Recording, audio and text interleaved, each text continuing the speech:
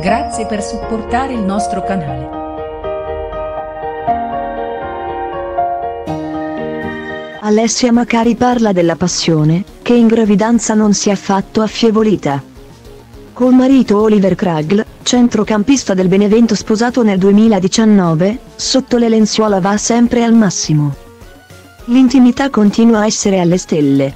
L'ex ciociara 27enne al settimanale nuovo confida, fare l'amore incinta è ancora più bello.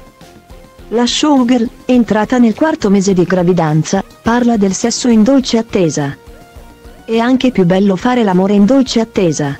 Con la gravidanza non finisce certo la vita di coppia.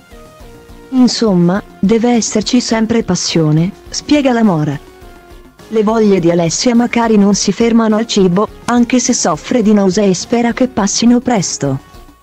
Al momento non svela il sesso del bebè, lo farà il prossimo settembre con un gender reveal party. Un trend americano che pare ormai aver contagiato anche i famosi in Italia. Il bebè nascerà a gennaio, se sarà una femminuccia sta pensando di chiamarla Sia. Se arriverà un maschietto, invece, è molto attratta dal nome Maui. Le piacciono i nomi strani e particolari, anche il suo Holly è d'accordo.